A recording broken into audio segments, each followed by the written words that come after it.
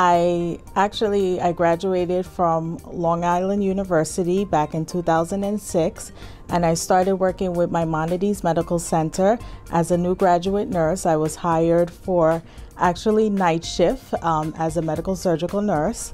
Um, after working three weeks and being successful um, during my first part of orientation, they actually um, switched me over to a day shift nurse, which is uh, much more busier than working night shift. Um, and I stayed there. I did my vested, which is five years. And after working five years, I decided to go back and start school for my master's degree. Um, so when I started my master's, uh, I saw one of the clinical instructors um, who was on the unit.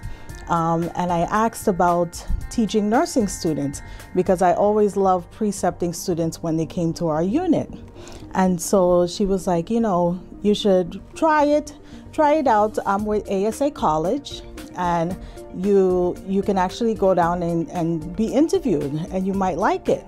And so I actually went down there and I was interviewed and I was hired right on the spot. And so I actually started out as a, a adjunct lab instructor. And as an adjunct lab instructor, I was teaching the nursing students um, basic skills um, for their uh, nursing program. Um, after working with ASA College, I had enough experience where I was also hired to teach a fundamentals lab with LIU, and then I went to NYU, and then I went to Columbia University. All those experiences I I've learned from all these other schools, I've brought them all back to ASA College. And we're able to go from a two bedded lab to a 10 bedded lab.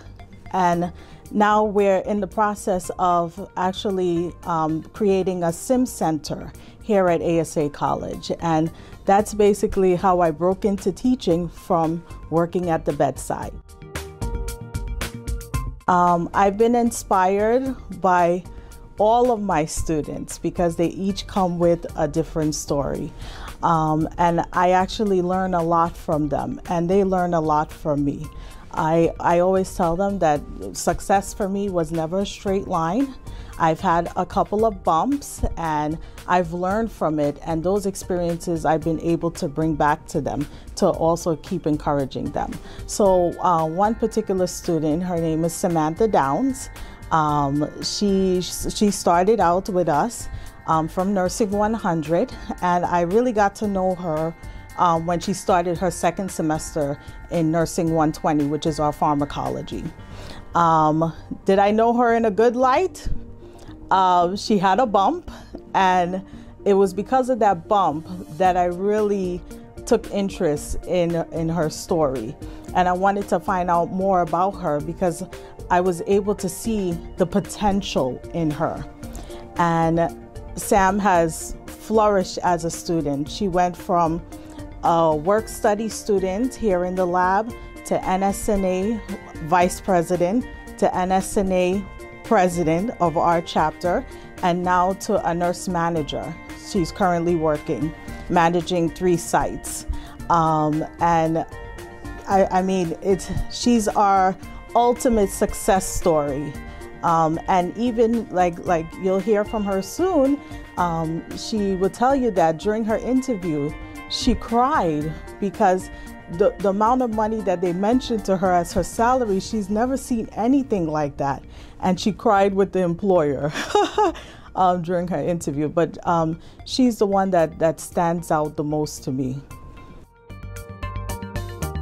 For potential students, just make sure that you actually want to do nursing. I know sometimes I'm third generation nurse. My grandmother was a nurse, um, my mother's a nurse, and so I was like, oh, I'll be a nurse. But I, I know that I really care about people.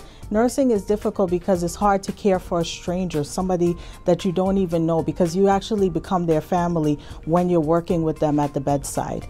Um, I encourage potential students to make sure this is what you want because you don't want to go through a program and at the end you start working and you don't like it. Okay? And also know that nursing is not only at the bedside. Um, when we attended our state convention we learned that, that there's nurse scientists. There's nurses who actually um, provide holistic nursing. We have nursing informatics. You could go into leadership. So it's not only at the bedside. Um, for our current students i ask them to to never to give up also to always be passionate about what they're doing.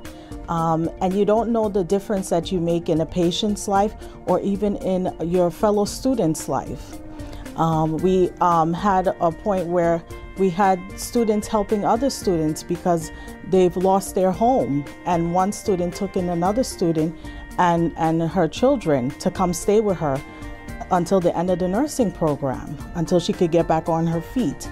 Um, so always take care of each other, take care of yourself, and, and remember, like, never to give up because success is never a straight line.